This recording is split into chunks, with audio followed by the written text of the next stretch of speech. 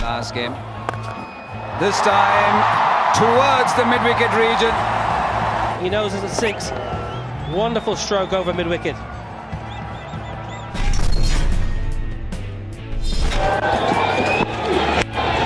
got him again.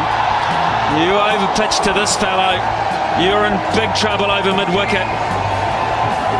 Suresh Raina has gone to 45 in double quick time. Oh, Mills is bowling in a nightmare here. Everywhere he puts it, he's only going to fractionally miss. He doesn't even have to miss it, he gets put away. Raina, he is hitting it superbly. Wasn't a particularly good delivery, but it still had to be put away. Inside out. And take that.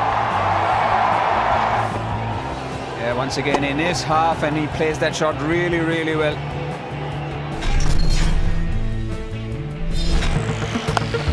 And then goes aerial and it costs him six. Just to Robert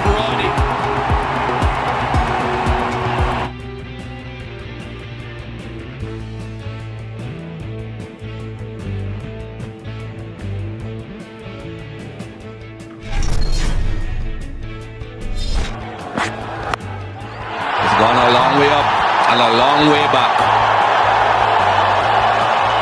He's a star, Suresh Raina, when it comes to 50 overs cricket. He's got 17 one-day international 50s, 300s, and it's a